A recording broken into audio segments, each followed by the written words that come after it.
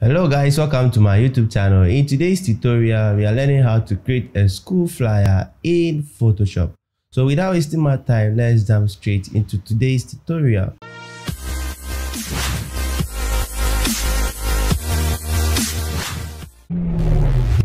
First of all, click on File, select New, select Print, choose A4 size, change the millimeters to pixels, change the 8-bit to 16-bit, give it a name, and click on Create. After creating your artboard, what you do next is to open this main folder. So as you can see, I arranged it according to the way I designed this particular beautiful flyer right over here. Okay, so let me turn off the main screenshot open the background and let me explain what I did right there. So first of all, I drew a rectangle. After drawing the rectangle, so somebody may ask, how did you draw the rectangle? Go for the rectangle shape. Let me create a new layer and let me draw something like this. Because I clipped it to the other side, that is why it didn't come. So as you can see, this is how your rectangle will look like. After drawing the rectangle, I imported this image on top of the rectangle. After importing the image, I select the image and right click on it. After right clicking on the image, I clipped create clipping mask. After clipping the image into the rectangle. So to get color balance, to get color balance, go to the adjustment panel select color balance and click on it. So let me double click on mine. As you can see, I apply the color balance to this particular image right over here. As you can see, my cyan is set to 19, my magenta is set to minus 4, and the yellow is set to plus 24. After that, under the highlights, the cyan is set to plus 1, the magenta is set to minus 6, the yellow is set to plus 17. After the highlight, I went to shadows. Under the shadows, the cyan is set to Binance minus 2, the magenta is set to plus 21, and the yellow is set to plus 9. So after the color balance, what I did next was to create another rectangle. In this case, I created the rectangle to cover this place, the whole area. So I created something like this to cover the whole area of the artboard.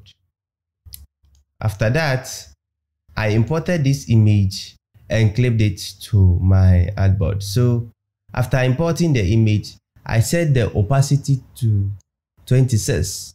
So this is how the image look like. After that, decrease the opacity to 26%. After decreasing the opacity to 26%, decrease the fill to 80%.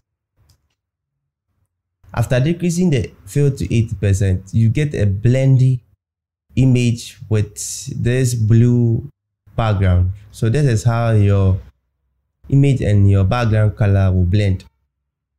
After that, we are done with the background.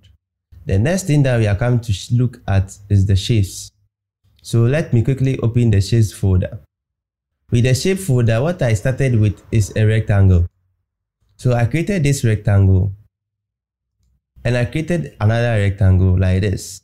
So all of them, you go to your tool section where the rectangle tool is and you draw a minor or a small rectangle like this to make your work look really nice. After drawing the rectangle, I drew a circle and I added a stroke effect to it. So as you can see with the stroke effect, to get a stroke effect, double click on it or go to the FX, you see a stroke effect. I set the stroke size to 60, the opacity to 100% and the color to white. Somebody may ask why white. You see at the end of today's tutorial. After that, I imported this image and clip it to the circle. So that is why the stroke is white right over there. After that, I created another circle. I imported my image and added the same effects to it.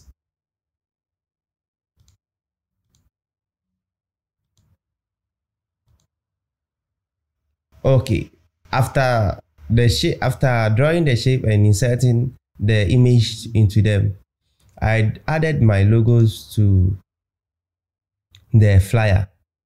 So I added a phone logo and a social media handle logos. So with the social media handle logos, I added a color overlay effect, which is white, so that it will blend with my flyer perfectly. After that, the next thing that I did was to add the text to my flyer. So I typed all this information and added it perfectly or I aligned it perfectly on the flyer. After that, the next thing that I did is to press Ctrl Alt Shift and made a screenshot of it. And I went to come, I, I converted it to a smart object. After converting it to a smart object, I went to filter and selected camera raw filter. And after that, when I double click on the camera raw filter, you see the effects right over here. So under the basic style, these are the adjustments that I did so that to add a perfect beauty for my flyer. So as you can see, this is the before and this is the after. So guys, that is it. Or this is how I created this flyer in Photoshop. Thank you guys for watching. Make sure you subscribe, like, and share my video.